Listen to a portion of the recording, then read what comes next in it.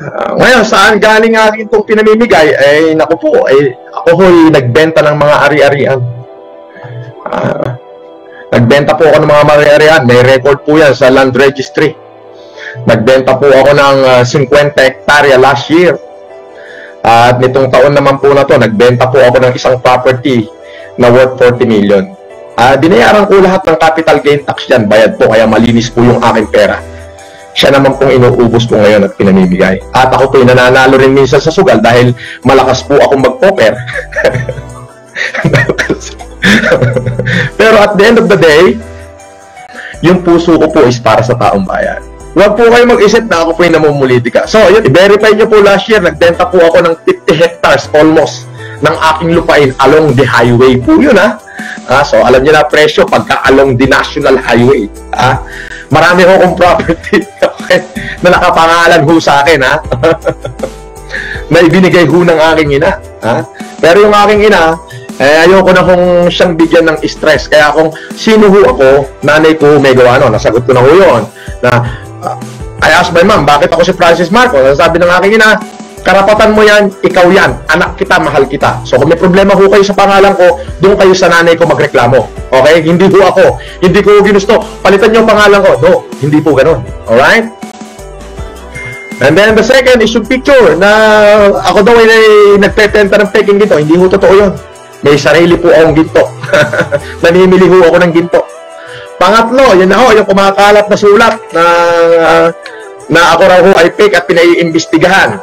Eh, yung date ho nung sulat na basa ko, eh, the same date na nandun sa bahay ko si First Lady at pinipirmahan ho yung mga painting na binili ko dahil na-appreciate niya po ako eh. Ah, yun po yun. Okay, and uh, one thing, ano pa ba? Yun nga, yung ako daw ay front ng Chinese Mafia na si Bernard Chong. Hindi po. Sa pagkakakilala ko po kay Bernard, napakabuting tao. Malinis ho ang mga hanap buhay niya. Yan ho ang may-ari ng World Balance. Kasosyo ho yan ng Tim Horton may kasosyo ng Potato Giant, yung kauna-unahang uh, movie Filipino anime, yung Barangay 143, o siya ho may-ari niyan. Eh mga legal ho lahat ng hanap buhay niyan. Bakit ho pag may mabuting tao, binapatikos nyo?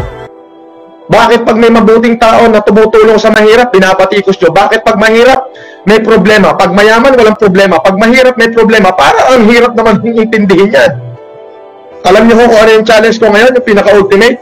Willing ho ako maghirap. Sa sobrang dami ho ng taong tinulungan ko, milyong-milyong Pilipino, yan, kaya ko hong patunayan yan. Buong Katanduanes sa Bicol, ako ho nagbigay ng Optimum Eye Care Program noong 2016 kay Governor Buboy Kuwa. Totoo po yan. Sa buong Maguindanao, ako rin po ang nagbigay ng Optimum Eye Care Program. Pinasalamin ko po lahat ng mga Muslim. MNLF, MILF, nakatanggap po ng libreng salamin sa akin yan. Libre po. Buong Maguindanao, Cotabato City, lahat po yan hanggang Lake Cebu, pati po buong Palawan, hanggang Rizal, Batarasa, nakatanggap po sa akin ng Optimum Eye Care Program yan at bigas. Sa Pasay, kung saan saan po itong latest po ng Optimum Eye Care Program ko ang nag-benefit po dalawang bayan sa Cagayan Valley. Sa bayan ng Ramon at sa bayan ng Peña Blanca at sa distrito ni Perla Tumaliwan, yung board member, yung buong distrito niya binigyan ko po ng Optimum Eye Care Program. Namigay po ako ng libreng check-up, libreng salamin. Mahigit kalahating milyong pirasong salamin po ang ipinamigay ko doon. Nang libre po.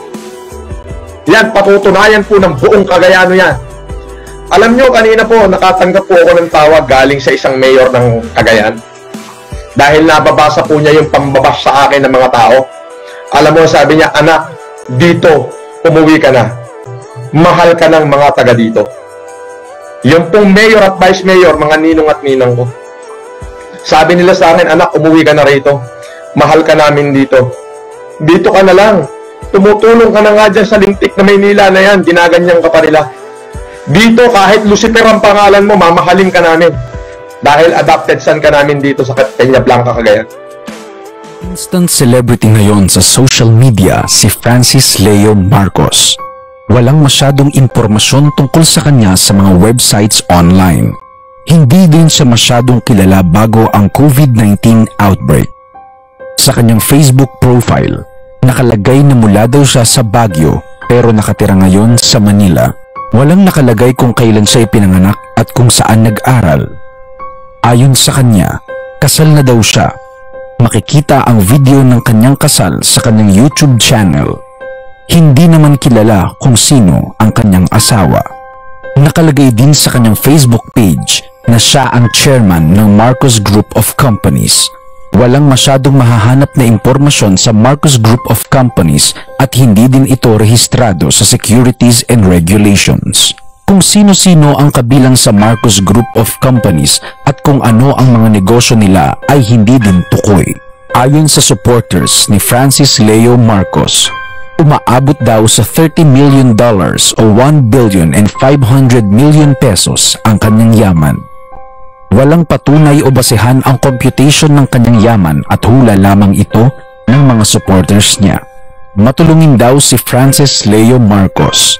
Sa isang video niya, sinabi niya na in every rules and regulation, in every law, there always been an exemption as long as there is justification if it is for the human reason. Ito daw ang laging sinasabi ni Francis Leo Marcos para suportahan ang kanyang adhikain na tumulong. Noong 2013, nagbigay ng tulong si Francis Leo Marcos sa 2,000 pamilya sa Pasay City. Nabaha ang Pasay City noon at diniklarang nasa state of calamity. Kasama niya sa pamimigay si Fortuna Marcos Barba, ang kapatid ni dating presidenteng Ferdinand Marcos. Nakuhanan ng Philippine Star ang pamimigay ng dalawang toneladang delata ng pamilya Marcos. Kamakailan lamang ay sumikat si Francis Leo Marcos o Boss FM sa pamamagitan ng Facebook page at YouTube channel niya. Tumutulong siya sa mga nangangailangang Pilipino. Ang kanyang bagong Facebook page na Francis Leo Marcos ay may 47,000 likes ngayon habang ang kanyang YouTube channel ay may 274,000 subscribers. Karamihan ng binibigay ni Francis Leo Marcos ay mga sako-sakong bigas. Umabot na sa limang daang sako ang kanyang naipamigay. Bukod sa bigas, nagpamigay umano din siya ng apat na libong pagkain sa mga frontliners at iba pang nakatira sa kanilang syudad. Nagbibigay din siya ng 5,000 piso at 10,000 piso sa mga nanonood at nagbabahagi ng kanyang mga Facebook live videos.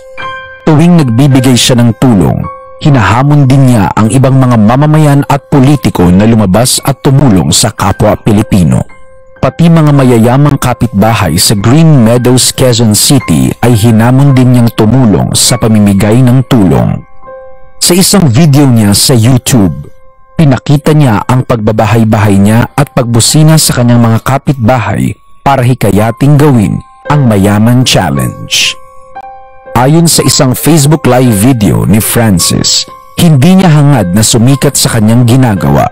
Nais lamang daw niyang tulungan ang ibang tao para mabuhay sa panahon ng quarantine. Kahit pa nire-report at tinatanggal ang ilang videos niya sa social media, hindi daw siya titigil sa pagtulong. Ayon sa kanya, kung lahat ng mayayaman ay magbibigay ng isang porsyento ng kanilang yaman, malaking tulong na umano ito para makaraos ang mga mahihirap na Pilipino. Marami ang nagtatanong kung sino si Francis Leo Marcos at bakit siya tumutulong sa mga mahihirap. Ayon sa philnews.ph, si Francis Leo Marcos ay ipinanganak noong 1980. Lumaki siya sa Manila. Nag-aral daw siya sa National High School of Massachusetts. Isang businessman si Francis at co-founder din siya ng Marcos Group of Companies. Siya din daw ay chairman ng Volunteers Against Poverty Foundation ayon sa Tribune.ph. Ang Volunteers Against Poverty Foundation ay isang non-stock non-profit organization sa Pilipinas. May mga video at litrato ang Volunteers Against Poverty Foundation sa kanilang website kung saan makikita ang aktibong partisipasyon ni Francis Leo Marcos. Dahil sa tagumpay ng kanyang mga negosyo, ang kabuoang yaman umano ni Francis ay nasa 25 million dollars hanggang 30 million dollars. Makikita din sa social media accounts ni Francis ang mga properties niya. Mahilig din daw siya sa mga sports car at may koleksyon din umano ng mga ito. Hindi pa malinaw kung kamag-anak ni Francis ang pamilya ng dating presidente na si Ferdinand Marcos at Imelda Marcos. Ngunit ang haka-haka ay pinsan daw siya ni Fortuna Marcos Barba. Si Fortuna Marcos Barba ay ang ate ni Ferdinand Marcos. Noon pa man ay mahilig na daw tumulong sa nangangailangan si Francis. Hindi ito ang unang beses na tumulong siya. May mga koneksyon din siya sa politiko at artista.